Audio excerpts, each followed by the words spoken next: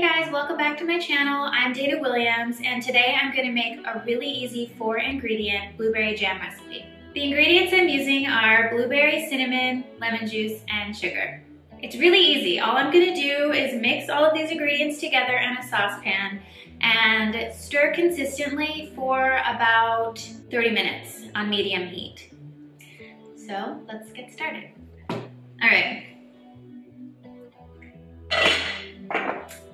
Of blueberries, one cup of sugar, one tablespoon of lemon juice, and a pinch of cinnamon, whatever that means to you. I, I always do a couple of shakes. And now I'm going to turn it on medium heat and stir it for about 30 minutes.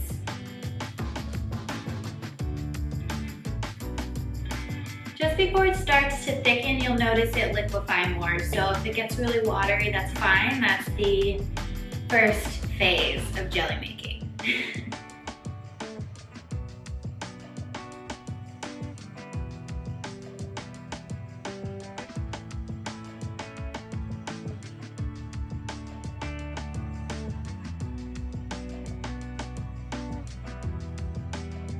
All right, so about 35 to 40 minutes have passed and my jelly is finished. Once it's a bit thicker and the water has evaporated, that's when you know it's finished. So I'm gonna let it cool for a few minutes before I store it in this jar. You can store it in your fridge for up to three to four weeks and it's really delicious.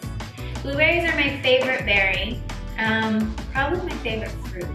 And I put it on all kinds of things. Sandwich with it. You can put it in a grilled cheese. You can eat it with crackers. Um, whatever you do with your jelly, that's your decision.